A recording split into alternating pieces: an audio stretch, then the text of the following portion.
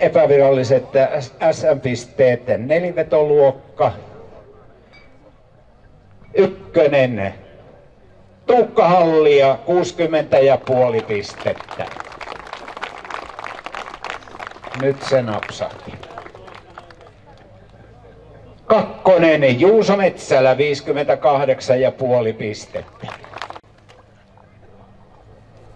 Ja kolmas Risto Lokka 44 pistettä.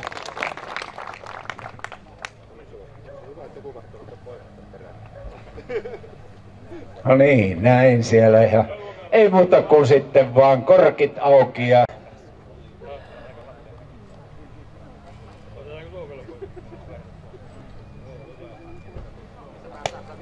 No niin, näin, näin ruiskutukset siellä ja ajopuvut menee pesuun, mutta niinhän ne meni sen hikisen urakan jälkeen muutenkin pesuun.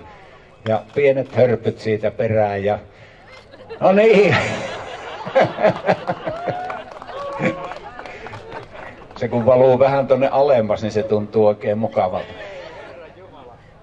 No niin, näin tosiaan nyt vielä raikuvat aplodit. Tukka Halli ja Juuso Metsälä, Risto Lokka ja ei muuta kuin kuvaajat taas, olkaa hyvä.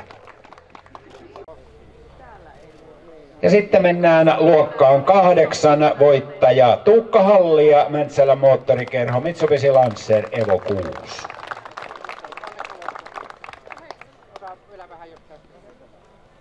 Kakkonen luokassa kahdeksan Juuso Metsälä. Yleiskilpailut aloittaen nelivetoisista ja nelivetoisten voittaja Tuukka Halli ja Mäntsälä moottorikerho Mitsubishi Lancer Evo 6.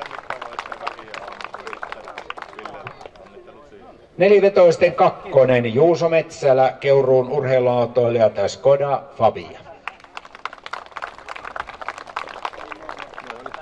Ja nelivetoisten kolmonen Niko Riikonen, Vihdin urheiluautoilijat Ford Fiesta RS.